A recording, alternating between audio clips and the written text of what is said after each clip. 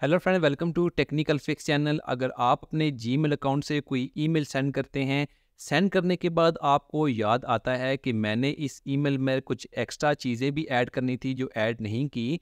या इसके अलावा आप जिस ईमेल पर अपनी ईमेल सेंड कर रहे हैं, आपने वो गलत ईमेल टाइप कर दी है, गलत ईमेल एड्रेस पर अपनी मेल सेंड कर दी है तो आप इसे अनसेंड भी कर सकते हैं, आप इसे रोक भी सकते हैं।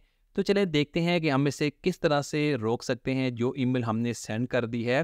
तो इसके लिए मैंने अपने क्रोम ब्राउज़र में अपना जीमेल अकाउंट साइन इन कर लिया है। साइन इन करने के बाद यहाँ पर आप इस तरह से कोई भी ईमेल टाइप करते हैं, जिस पर आपने ईमेल सेंड करनी है। इसके बाद यहाँ पर आप वो ईमेल का जो भी डेटा है वो टाइप करते हैं और इसके बाद आपको याद आता है, सेंड करने के बाद याद आता है कि मैंने इसको सेंड नहीं करना था तो आप यहाँ से अनडू कर सकते हैं। लेकिन यहाँ पर एक इशू है कि यहाँ पर जो अनडू का टाइम है वो जस्ट फाइव सेकंड है तो चले देखते हैं कि हम इसे किस तरह से इंक्रीज़ कर सकते हैं ताकि हम आसानी से इसे रोक सकें। आपने यहाँ पर सेटिंग पर क्लिक करना है।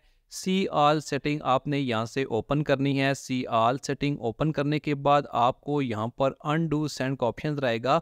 और यहाँ पर आप देख सकते हैं ओनली फाइव सेकंड सेलेक्ट हैं। आप यहाँ से थर्टी सेकंड तक सेलेक्ट कर सकते हैं। और उसके बाद आपने यहाँ से सेव चेंज बटन पर क्लिक करना है। और इसके बाद मैं दोबारा यहाँ पर आप आपको चेक करवाता हूँ, जैसे कि आप कोई भी ईमेल सेंड करते हैं, ड्राफ्ट में मेरी वो ईमेल पड़ी हुई है। आप इस तरह से कोई भी ईमेल सेंड करते हैं, सेंड करने के बाद आपको आपके पास तीस सेकंड तक का टाइम होगा। आप उसे रोक सकते हैं, अनसेंड कर सकते हैं, अनडू कर सकते हैं, जैसे कि मैं फ़िलहाल इसे रोका हुआ है।